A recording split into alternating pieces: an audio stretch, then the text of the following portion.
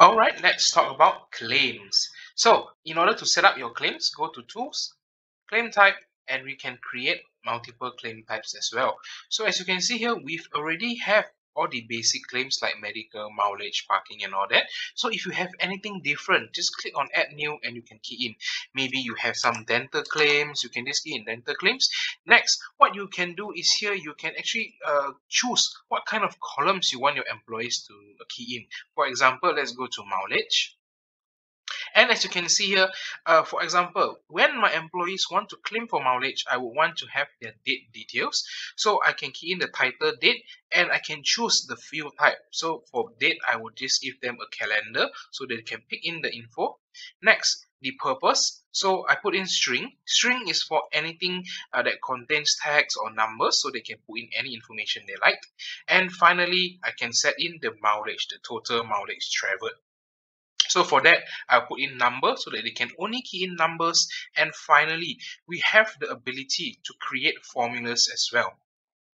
Let me give you an example. For my company, for every kilometer we traveled, uh, the company pays 50 cents.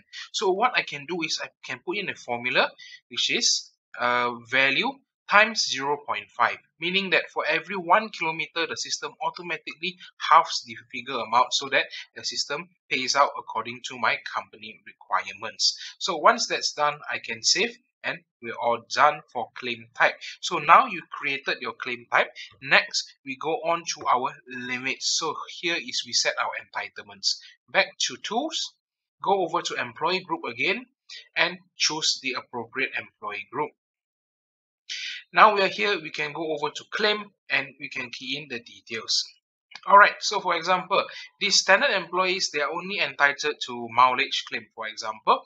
And next, you can key in the limits. So my employees, uh, for my standard group, their per year entitlement for mileage, let's say is 1,500 ringgit.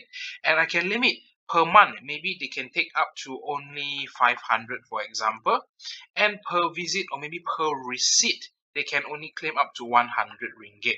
So I will be able to set up all these different limits that will be enforced uh, simultaneously. And finally, I can have a carry forward as well.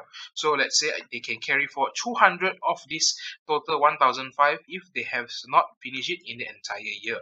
Save it and you're done. And if you have any other entitlements, just similarly key in the figures and click on save. And remember, top right to click on the save button to save all the information.